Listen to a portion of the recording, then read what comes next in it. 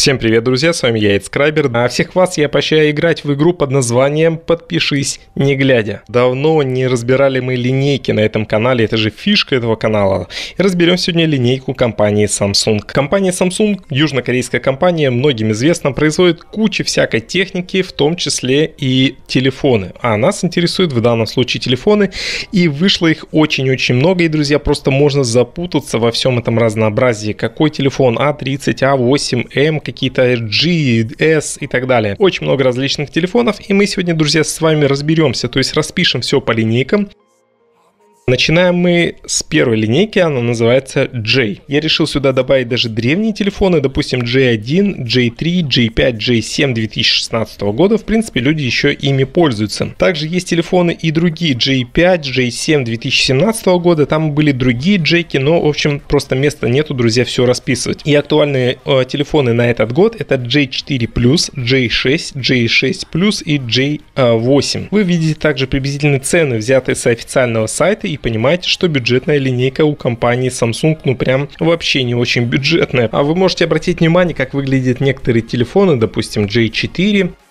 J8 выглядит вот таким вот образом. Бюджетная линейка у них одинаковая, то есть дизайн не сильно отличается один от другого. Да, и давайте обратим внимание на один из телефонов. Допустим, J6 Plus. Мне кажется, здесь неинтересные параметры, но есть определенные компромиссы. Пробежимся по ним.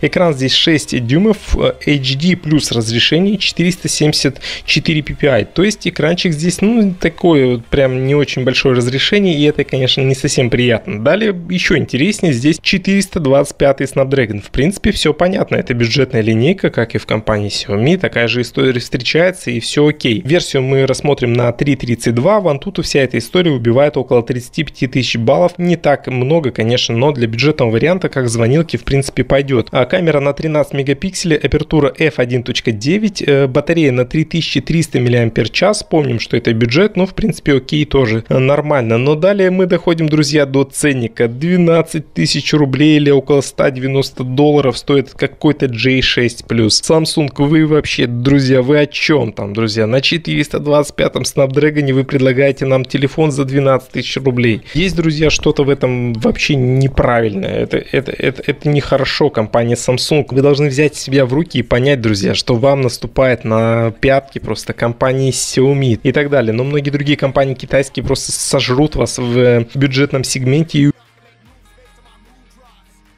Следующая линейка под названием А. Здесь следующие телефоны А6, А6+, А8, А8+, А7, А9. Наверное, вам знакомы телефоны А7, потому что они вышли с тройной камерой, одни из самых первых, и А9, которая вышла с четверной камерой, которая смотрится просто ужаснейшая. Просто вообще не понимаю, как можно было придумать такой телефон. Поколение А10, А, А20, А30, А50, А60. Ну, в общем, там есть еще и другие телефоны А40, А70, А90. Некоторые из них представлены, некоторые из них еще не представлены, но в общем по факту мы имеем, что А10, А20, А30, А50 уже у нас есть в доступе, то есть вы можете их в любой момент купить, протестировать, посмотреть, ну и так далее. Также телефон А70, А90 обещают на Snapdragon, на 670-х, там на каких-то 710-х, то есть самых крутых и так далее, но ценник, наверное, будет просто зашкаливать, потому что за 670 Snapdragon просит около 30 тысяч рублей. То есть, ну, конечно, это приятно, когда стоит Snapdragon, когда Samsung и все такое, но когда ценник зашкаливает так сильно, это уже становится неприятно. В общем, давайте разберем один телефон, который, в принципе, друзья, могу рекомендовать а, к покупке, если вы любите именно Samsung. Это Samsung Galaxy A 30. Экран здесь 6,4 дюйма, Full HD плюс разрешение. И здесь, друзья, Супер AMOLED. Это приятно за эту цену, что здесь стоит Супер AMOLED. 403 ppi. Процессор здесь собственной разработки. Exynos 7904. Версии есть на 332, 464. Вантута убивает приблизительно 107 тысяч баллов. То есть, ну, неплохой такой процессор. Конечно, это не игровой процессор, потому что там стоит Мали. Но если вы не играете, если вам нужно просто пофотографироваться, там, сделать определенные записи, позвонить и так далее, то телефончик действительно будет великолепен. Камера здесь на 16 мегапикселей, апертура f1.7, а, батарея на 4000 мАч, вот это очень хорошо, спасибо компании Samsung, начинает ставить большие батарейки, и это очень приятно, тем более здесь в купе с Super AMOLED, наверное, она будет вообще жить очень-очень долго. А, из фишек здесь USB Type-C присутствует, NFC есть, мини-джек присутствует, все великолепно в этом телефоне,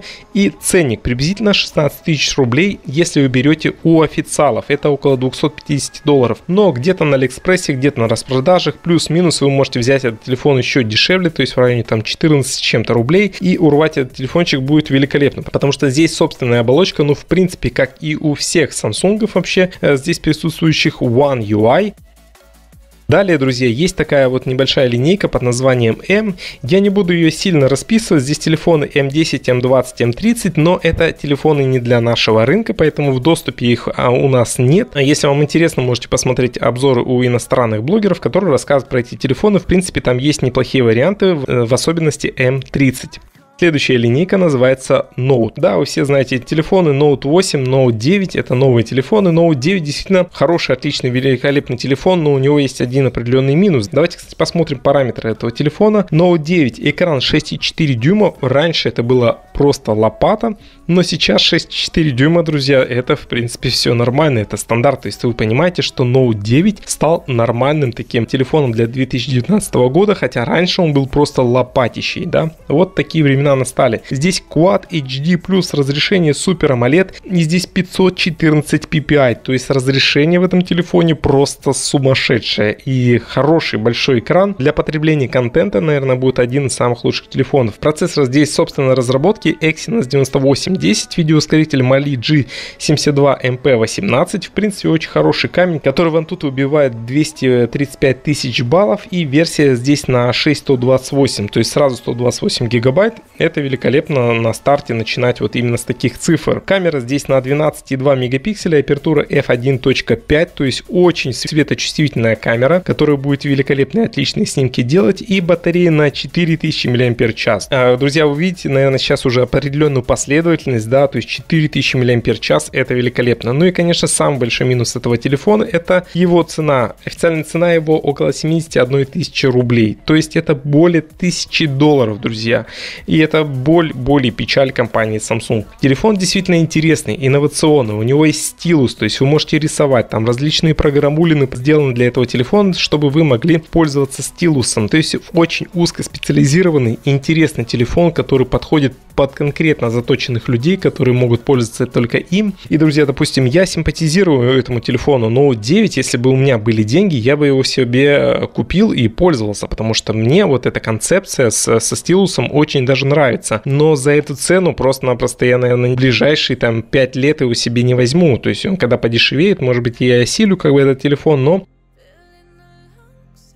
а следующая линейка, друзья, под названием S. Многим из вас, конечно, она знакома. Здесь телефоны S8, S8+, S9, S9+. Это телефоны, которые, ну, так сказать, условно постарели уже. И это флагманы, флагманы компании Samsung. Ну и текущие флагманы компании Samsung это S10e, S10 и S10+. Цены вы тоже, друзья, видите, начиная от 40 тысяч до 125 тысяч рублей. Просто у меня зашкаливает в голове, когда я вижу эту цифру S10+, плюс. Понятно, что там 1 терабайт э, памяти и все такое, но ценник 2000 долларов. 2000 долларов у меня просто в голове не укладывается каким должен быть телефон, чтобы я купил его себе за 2000 долларов. А на что бы я обратил внимание? Конечно, это дорого, но я обратил бы ваше внимание на 10E. Экран здесь 5,8 дюйма, Full HD разрешение, это супер AMOLED, и компания Samsung всегда почти что ставит AMOLED, даже э, в некоторые бюджетные телефоны они ставят AMOLED, и это приятно. Но в принципе они их и разрабатывают, у них есть открытый доступ к этим AMOLED, 435 ppi. А процессор здесь собственно разработки новый Exynos 98 20,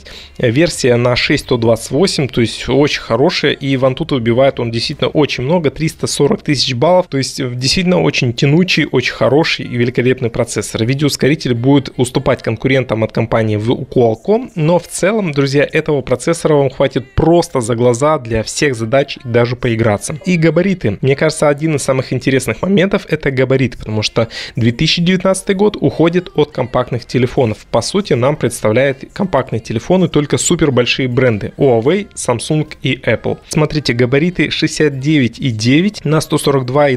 То есть это действительно очень-очень компактный телефон для 2019 года, один из самых компактных телефонов. Основная камера на 12 мегапикселей, апертура f1.5, то есть очень светочувствительная оптика и батарея на 3010 мАч. Не такая большая, но в принципе в купе с супер AMOLED, наверное, будет в принципе ничего, потому что Exynos тоже разработанный по 8-нанометровому техпроцессору, кушает батареечку не так сильно. Ну и цена, конечно, цена это более печаль, около 57 тысяч рублей, то есть чуть меньше э, тысячи долларов это стоит телефон. И э, знаменитая капля или же дырочка вот в самом экране. Кому-то нравится, кому-то нет, кто-то вообще на это не обращает внимания. Но что имеем, друзья, то имеем. Ну и также я обратил бы ваше внимание на Samsung э, Galaxy S10, это основной флагман. В китайской версии вы можете взять его на 855 Snapdragon с двумя симками, и это будет русскоязычная версия. Раздобыть такую версию не совсем легко, но, друзья, проходите на мой телеграм-канал, как только появится эта версия, я обязательно скину ссылочки на этот телеграм-канал, там подписывайтесь на него, и там, в принципе, есть актуальные цены на другие телефоны, скидки, купоны и все-все-все такое, друзья, так что если вам не безразлична судьба этого канала, то обязательно тоже подписывайтесь и на телеграм-канал. Ну и давайте проанализируем всю нашу линейку компании Samsung. Значит, J это, так сказать, бюджетные телефоны. Линейка А, мне кажется, это самая интересная и доступная линейка. Здесь есть А30, а50, в принципе, неплохие телефоны. Если цена на них понизится, то вообще будет великолепно и супер. Линейка M это не для нас. Линейка Note здесь тоже, в принципе, интересные такие телефоны. И линейку S мы только что, друзья, с вами рассмотрели. Если вам интересна такая идея рассматривать линейки телефонов, то пишите обязательно в комментариях, друзья. С вами был я, Эд Скрайбер. Обязательно подписывайтесь на этот канал, ставьте лайк этому видео. Всем хорошего настроения, всем пока-пока.